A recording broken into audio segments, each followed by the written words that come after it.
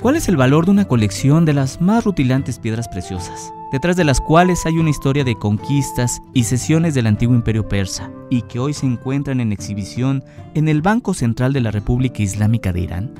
Miles de esmeraldas, diamantes, rubíes empotrados en tronos, coronas y espadas de oro conforman esta exposición única en el mundo, que se ha integrado a lo largo de los siglos y de la historia, por lo que su valor monetario es incalculable.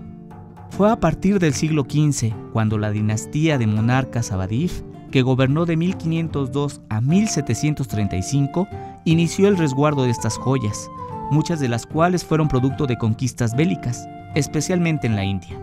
La colección inició en Isfahán, la antigua capital del imperio persa, aunque a lo largo de los siglos, de guerras y cambios de gobiernos, muchos de estos tesoros se extraviaron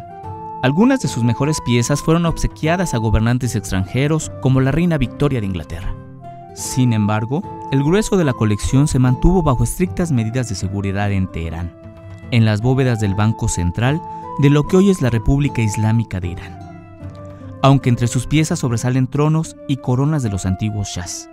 como se denominaba a los ya extintos reyes de este país del Medio Oriente.